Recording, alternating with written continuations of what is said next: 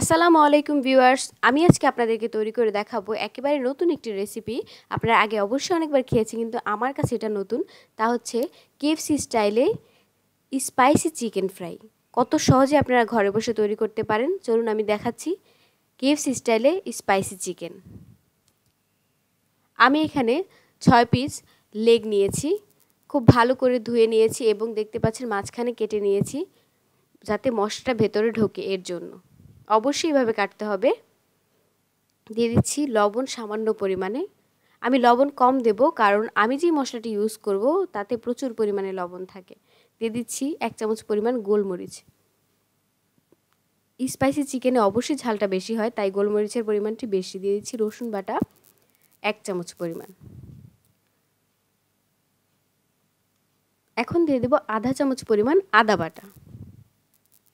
আর আমি যেই মশলাটি ইউজ করছি আমি এখানে নিয়েছি নরের নরের মশলা। আপনারা এটা যে কোনো সুপার শপে কিনতে পারবেন। আমি আপনাদের ভালো করে দেখিয়ে দিচ্ছি। দিয়ে দেব তিন চামচ পরিমাণ।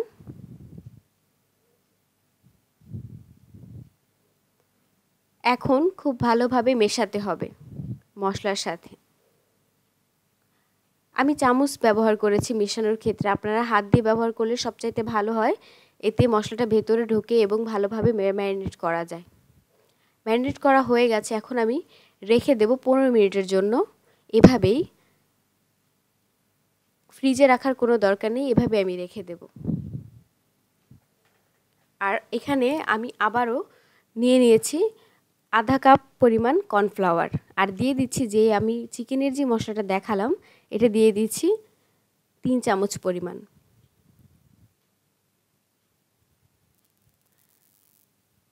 আর দিয়ে দিচ্ছি গোলমরিচ, আধা চামচ পরিমাণ। আমি এখানে কালো গোলমরিচ নিয়েছি। মিশিয়ে দিচ্ছি খুব ভালোভাবে। একটু ভালো করে সময় নিয়ে মেশাতে হবে। মেশানো হয়ে গেছে। এখন আমি দিয়ে দেব তিন টেবিল চামচ পরিমাণ পানি। এই গোলাটা খুব বেশি ঘন বা খুব বেশি পাতলা পাতলা করা কোনো দরকার নেই। মিডিয়াম থাকলেই চলবে। মিশিয়ে নিচ্ছি খুব ভালো করে। মেশানো হয়ে গেছে, এখন দিয়ে দিচ্ছি চিকেন। আমি যেই লেগ পিস নিয়েছিলাম, সবগুলো লেগ পিসই পনেরো মিনিট পরে দিয়ে দিচ্ছি।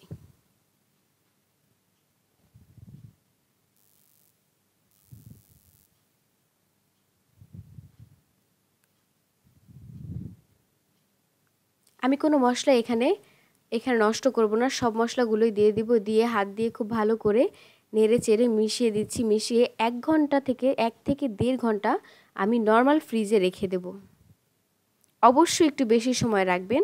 এতে মশলাটা ভেতরে ঢুকে এবং ভাজলে খুব সুন্দর, ভিতরে মশলাটা ঢুকলে খেতে খুব ভালো লাগে। আমি রেখে দিচ্ছি। বের করে নিলাম এক থেকে দেড় ঘণ্টা পরে ফ্রিজ থেকে বের করে আবার একটু নেড়ে চেড়ে দুই থেকে তিন মিনিট রাখব। মিশিয়ে নিচ্ছি খুব ভালো করে মশলার সাথে, এই পাশ থেকে ওই পাশ।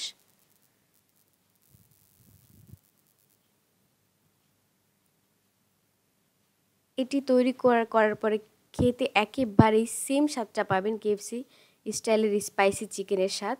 আমি একটি কড়াইয়ে তেল খুব ভালোভাবে গরম করে দিয়ে দিয়ে দিয়ে দিচ্ছি মাংসগুলো বা লেগ পিসগুলো দেখতে পাচ্ছেন মশলা কত ভালোভাবে মিশেছে মাংসের সাথে।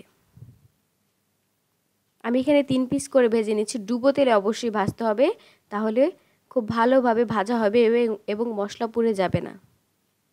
আপনাদের সুবিধার্থে একটু উঠিয়ে দেখে দিলাম। ডুবো তেলে ভাজার ক্ষেত্রে লাড়াচাড়া করার কোনো দরকার নেই, তারপর আমি আপনাদের সুবিধার্থে একটু দেখিয়ে দিচ্ছি। আর মিডিয়াম আছে ভাজতে হবে, ফুল আছে কখনই ভাজা যাবে না। ভাজা হয়ে গেছে, এরকম গাঢ় ব্রাউন কালার হলে নামিয়ে ফেলতে হবে। আমি তেল ছাড়িয়ে নামিয়ে ফেলছি।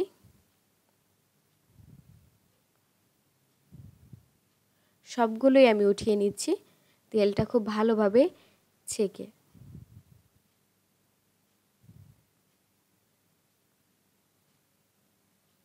বাকি যেগুলো ছিল আমি সেম প্রসেসেই ভেজে নিচ্ছি। আসলে এই রেসিপিটি আপনারা না করে খেলে বুঝতেই পারবেন না যে আপনারা কেএফসি স্টাইলের সেম কেএফসির স্বাদটাই যে পেলেন। ভাজা হয়ে গেছে, কত সহজে তৈরি করে ফেললাম কেএফসি স্টাইলের স্পাইসি চিকেন আশা করি আপনাদের সকলের কাছে ভালো লেগেছে। ভালো লাগলে আমার সার্থকতা, আর ভালো লাগলে অবশ্যই আমার চ্যানেলে লাইক কমেন্ট শেয়ার এবং সাবস্ক্রাইব করতে ভুলবেন না। ভিডিওটি দেখার জন্য সকলকে ধন্যবাদ। Thank you